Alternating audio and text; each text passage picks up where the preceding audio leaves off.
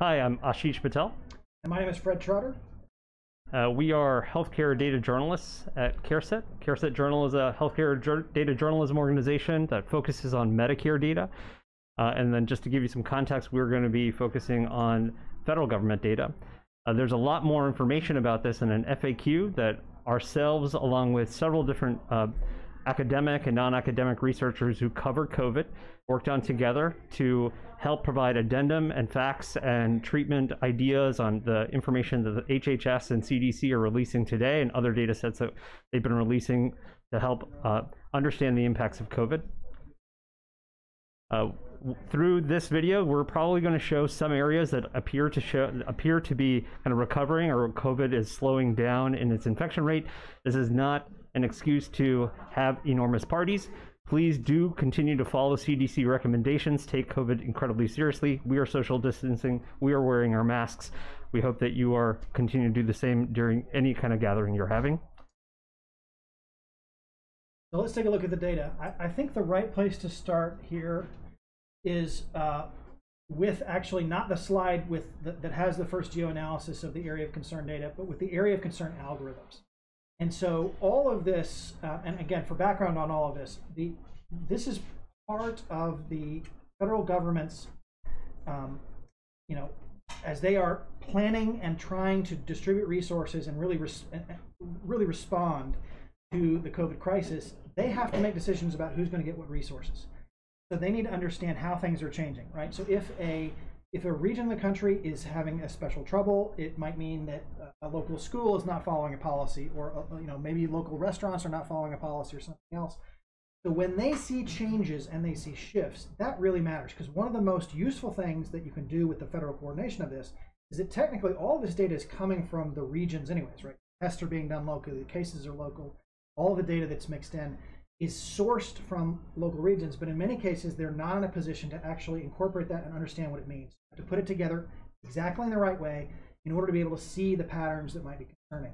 And so, one of the most significant ways that they do this is to come up with this kind of, for lack of a better word, epidemiological algebra, where they determine, based on the number of cases that are happening right now and the number of cases that have happened previously, you know, how bad things are. And, and I just want to highlight, um, I think, the, the kind of two sides, right? So if you look over here on the left, you see the low burden community and a moderate burden community. And notice that those are not just having low uh, cases, it's having low cases and also not recently having had low cases, right? And then on the right, you see high burden resolving and moderate burden resolving. And that's actually like, hey, it could be, uh, there could be a lot of cases here, but it does look like they're going down. And you see inside, there's all of this logic about, well, there's less than 100 of this and less than 100 of this. All of this is in terms of cases and population rates and these kinds of things. And then in the middle, you have a hot spot. And then I think beneath that is a hot spot that's getting worse. An emerging hotspot is actually, um, I think, in some senses, a real opportunity for the response. Because if you can interfere with an emerging hotspot, if you can say, well, they're not following rules or somebody's violating some protocol, or maybe there's something else that can be done. If you can stop a hotspot from becoming a hotspot, that could be a really big deal and save thousands and thousands. This is the kind of decisions that they're doing. Again, all of this is a kind of national triage of federal resources. The most famous federal resource that I think is is decided upon for this data is the remdesivir dose. It's probably the most important thing that I think has gotten the most discussion. But there's also the ability to send federal physicians in.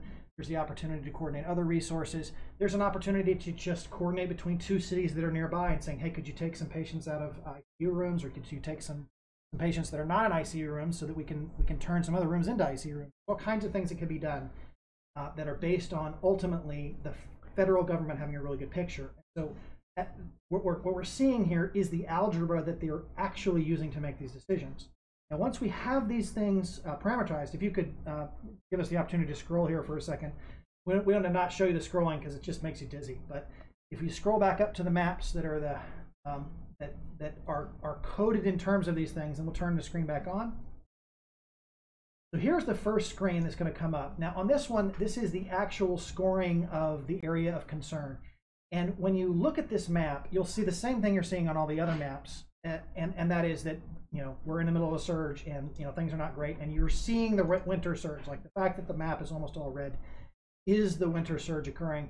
And you'll also see how, you know, I think there was a time uh, when only New York was red and these kind of things at the beginning of the pandemic when New York was really suffering in a way that other, other less densely populated areas were not.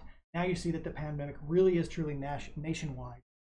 Um, and if you look at the bottom right, in fact, right behind Ashish, and Ashish, could you just lean for a second? If you could look over there. Yeah, so as you see Ashish leaning, um, that that that red is all of the areas that are currently in the hotspot status. And if you'll see, there's a little sliver above the red, and those are the places that are recovering. You can go back to. You're, you're fine now. I am right in the middle. You're, you're right in the middle. It's just the, the, way it goes. Sometimes it happens. Which we tried to choose the most unimportant places for us to be in the in the data visualization, but sometimes it backfires. All right, so let's switch to the next. So uh, before we do, sure. I want to call out uh, back to that original epidemiological algorithm, there are two in the center, hotspot and sustained hotspot. And uh, there, there, there's kind of a threshold parameterization between the hotspot and, and sustained hotspot is around 100 cases per 100,000 versus 200 cases per 100,000. And then in the sustained hotspot, you've got 200, 200 cases per 100,000 over the last two weeks. And, and that's that's really the key is that it's maintained new cases over a longer period of time and at the time that we're recording this, 899 of the 900 some odd uh, geographic areas that are reported are in are considered sustained hotspots. So the graph that's all dark red right behind me is really the, showing that nearly 90% of the United States is a sustained hotspot. I'm going to yeah. So let's switch this slide. Okay, so now remember what I was saying that when there's these things that the federal government can do um, and again, I didn't give you any kind of formal list. I'm just kind of uh, hinting at the, what the possibilities are.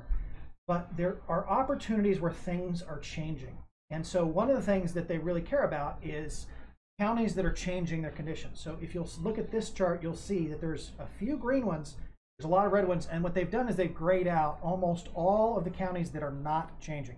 This is like a who's who has really had a shift recently. And the reason that they're going to focus on that, right, is let's say that there is some problem with the school or something else happening. This might be the first signal that there's a, po a possibility. So this is almost a regional to-do list map for for federal resources to get. Yeah, we really need to pay attention to these particular counties. And you'll see that they're kind of a it's kind of a mismatch. They're all over the place. They're the places that are really changing right now. So it's not like there's any kind of super obvious pattern. So areas like California, Arizona, Tennessee, Pennsylvania, Florida, Georgia, Mississippi, you see they're they're really turning into rapid riser geographies. There is another data set that HHS released a few weeks ago that talks about hospital hospital level COVID case count. So if we're putting ourselves in the position of public health policy folks or putting ourselves in the position of just a decision maker in a family, this information about whether or not your local community is turning into a sustained hotspot, and there will be other information about the hospital on Main Street and whether or not they're 110% utilization on their ICU beds. These, this is the kind of information that the federal government can re release and release on a regular basis. The hospital data is updated on a weekly basis. This data is updated on a daily basis on the on the trailing week. This is the kind of information that we really need to make smart choices not at just at the public health policy level, but at the family family rules level. And one of the things, I mean, emphasizing that discussion about you know family discussions. Um, one of the most important messages, as I think there's sometimes on the internet, people are saying, "Oh, it's not a big deal," or masks are not necessary, or all these kind of things. Remember that you absolutely have to follow the CDC recommendations, and of course, if you don't believe this is real, I think this is the thing that this shows you is that this is real and multiple data sources are confirming that. So it's a triangulation. In order to be able to show this, I'm one of the people working with this COVID tracking project who actually take all the state and city data and merge it together. And the pictures are not identical, right? There, there are small differences, but they are so much in line that it's very obvious that there is no fraud going on here. These red zones really are red zones, totally legitimate. So again, I think this is probably, we might do this in other videos as well, but good time to emphasize that know, if you have choices like whether or not you absolutely have to travel, you know, do you really have to travel? Um, but you should always, no matter the circumstances, be following the rules that are invariant, social distancing, wearing masks, etc., etc. And again, visit the CDC for more information. I don't have anything else on this, do you? No, thank you very much for your time.